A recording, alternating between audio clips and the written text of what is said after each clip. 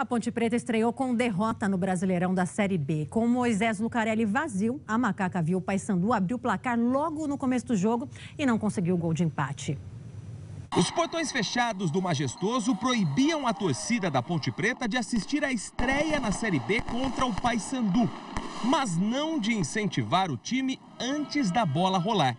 Na chegada do ônibus da delegação, festa do lado de fora, com uma faixa declarando amor à macaca e o clima da arquibancada para motivar os atletas.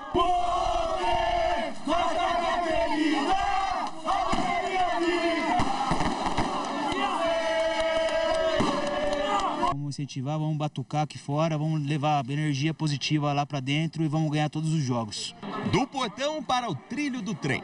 Os torcedores acompanharam do alto do barranco a partida e logo de cara ficaram decepcionados com o time em campo. A ideia da Ponte Preta era repetir o mesmo padrão tático do jogo contra o Náutico, quando em apenas 25 minutos a Macaca já havia feito três gols. Mas dessa vez, um erro individual aos três minutos mudou toda a cara da partida.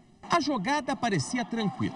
Bola dominada pela zaga da Ponte, quando Renan Fonseca entregou nos pés de Cassiano. 1 a 0 Paysandu. A gente errou ali num, numa zona do campo que não pode errar, né? E, e permitimos um gol e o, o jogo se desenhou para aquilo que eles vieram aqui.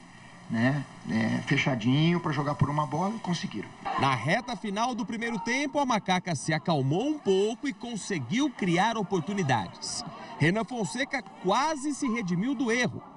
E na melhor chance do jogo, Júnior Santos chutou em cima do goleiro Renan Rocha. E no rebote, o estreante lateral direito Tony desperdiçou. Paulinho ainda arriscou um chute de fora da área e assustou o goleiro do Paysandu. No segundo tempo, o jogo voltou a ser equilibrado. O Papão quase ampliou o placar em mais um apagão da zaga Ponte Pretana. Cassiano ficou sozinho, mas mandou para fora. A partir daí, a Ponte Preta foi com tudo em busca do empate e quase conseguiu, quando o zagueiro Diego Ivo por pouco não marcou conta. Aos 47 do segundo tempo, Felipe Cardoso cabeceou no travessão. Fim de jogo no silencioso Moisés Lucarelli. Ponte Preta 0, Paysandu 1. Um. Aprender de, de muitos pontos de vista é, para a gente não voltar a cometer esses erros. Pois é, depois de uma boa vitória na Copa do Brasil, a Ponte Preta não repetiu o desempenho na estreia do Brasileirão da Série B. Vem pra cá, Heitor Fredo. Boa tarde para você. O que aconteceu? Boa tarde, Verônica. Boa tarde a você que acompanha o TVB Notícias. Pois é, a ideia era repetir aquele padrão tático, aquela pressão inicial. Mas quando você toma um gol com três minutos, isso quebra qualquer estratégia, isso quebra qualquer plano tático.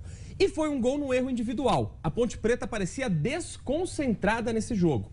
E aí, um time desligado resulta em erro e o erro acabou sendo fatal para a Ponte Preta logo no começo da partida. Contou também a fraca estreia do lateral Tony. Foi muito mal na partida, principalmente na recomposição da defesa, e aí deixou um sistema que já está com mudanças pela saída do Luan Pérez ainda mais inseguro.